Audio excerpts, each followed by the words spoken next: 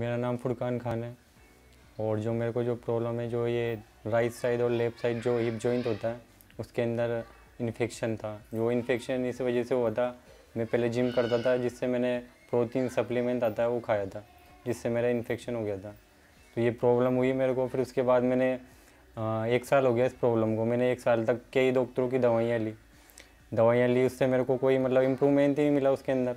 Problem मतलब बढ़ती गई मेरे को। कोई मतलब फ़ायदा नहीं हुआ उससे।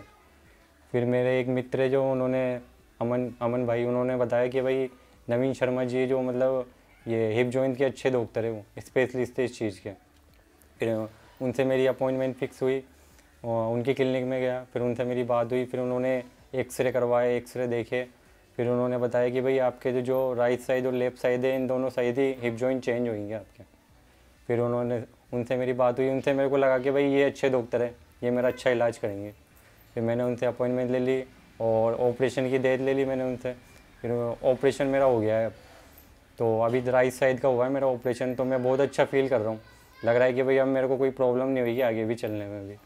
और अब मतलब जो राइट, लेफ़्ट साइड का है, उसमें अभी प्रॉब्लम है मेरे को जो आगे ऑपरेशन होएगा, वो भी मैं नवीन शर्मा जी से कराऊँगा, मेरे को बहुत अच्छा फील हो रहा है इस चीज़ के लिए।